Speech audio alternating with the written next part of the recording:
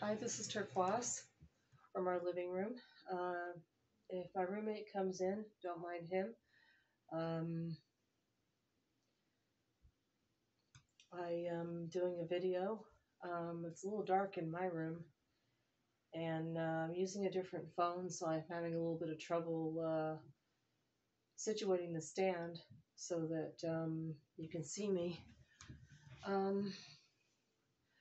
I'm going to do a video about uh, something that I, I feel is very meaningful to me. Um, I've been talking a lot about limerence, and um, limerence is basically um, usually a feeling for someone that you that you is unattainable.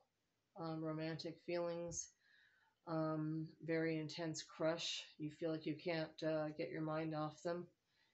Their thoughts of them dominate your life. You know, dominate your work time, your your sleep time, your your school time if you're in school, everything in your life.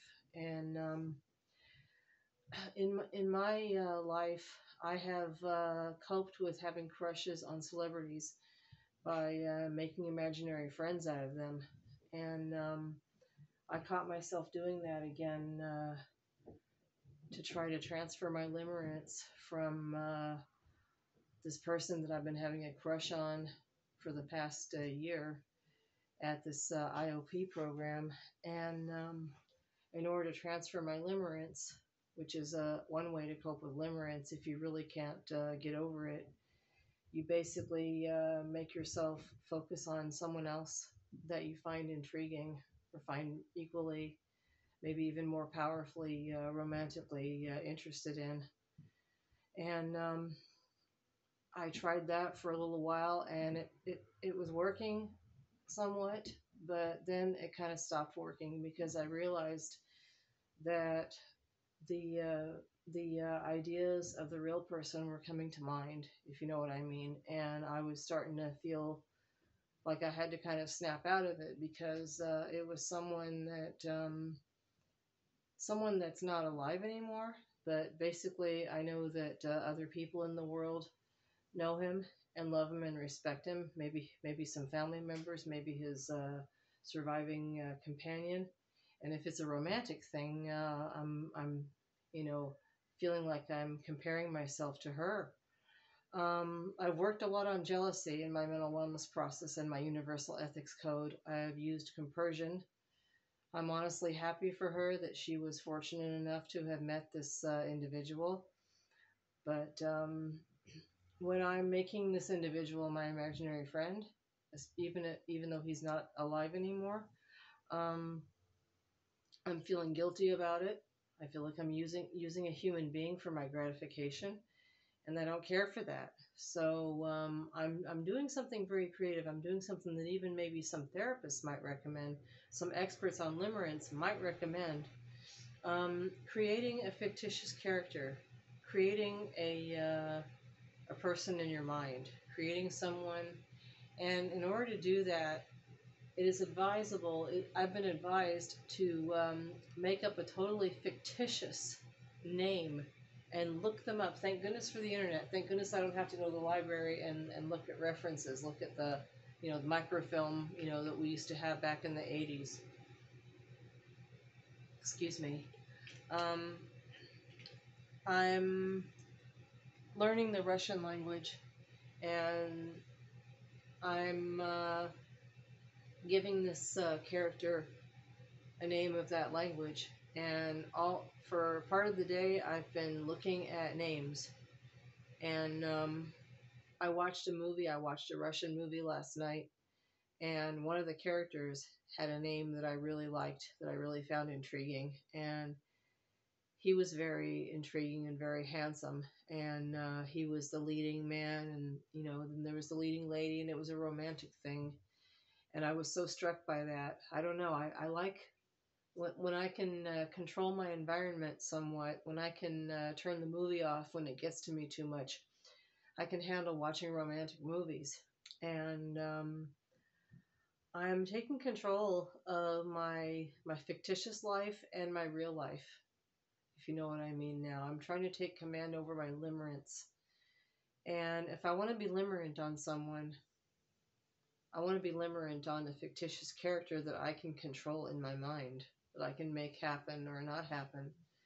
And um, I put together the first name of this character that I saw in a movie last night, and I gave him a last name of another famous person.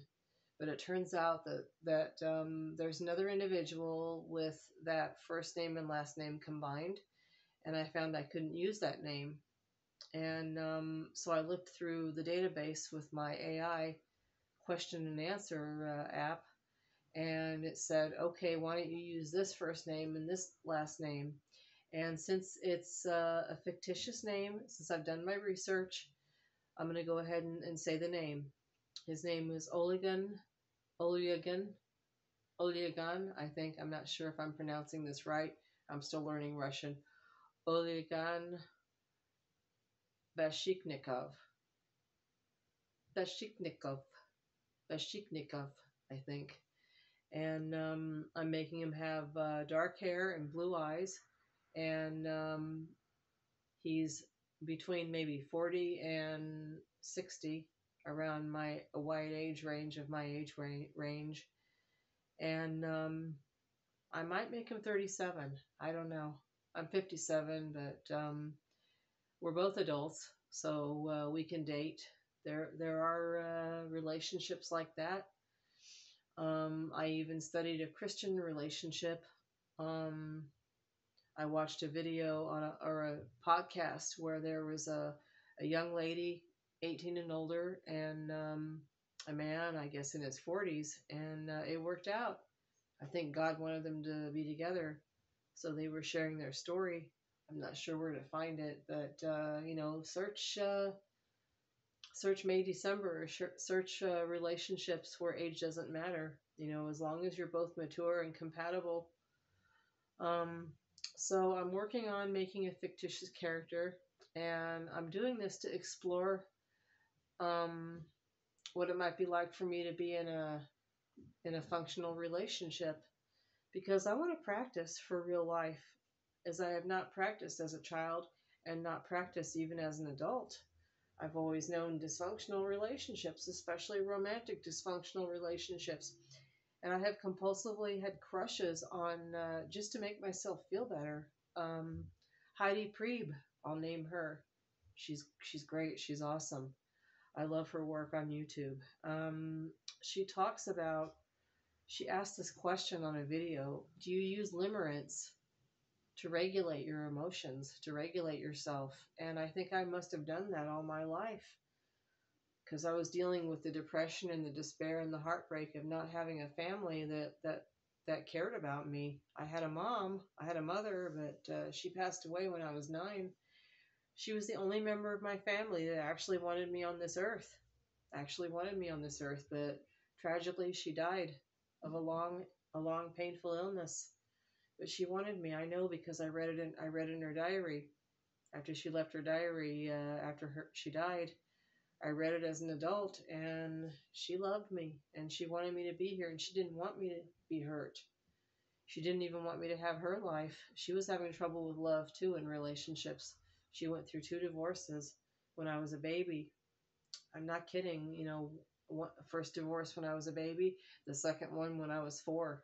It was horrible. It just so um, I'm trying to teach myself how to have relationships, and I am going to the IOP, and I'm learning how to interact with people and uh, cope with my uh, fading limerence towards uh, Olga.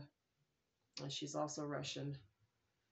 So I'm really fascinated with, with Russians, and I um, I'm also uh, listening to some music from uh, a Russian on YouTube and I find his music amazing, and I'm hopefully just behaving like a fan. You know, I think he's good looking, but I like his uh, work better than I like his looks.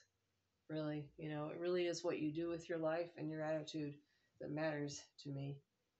Everyone, it's not just how you look. I mean, being attractive is a blessing. You know, it helps you get into it more easily, but um, I think God has other plans for us, folks. Gonna go. Be safe, everyone. Happy Sunday night.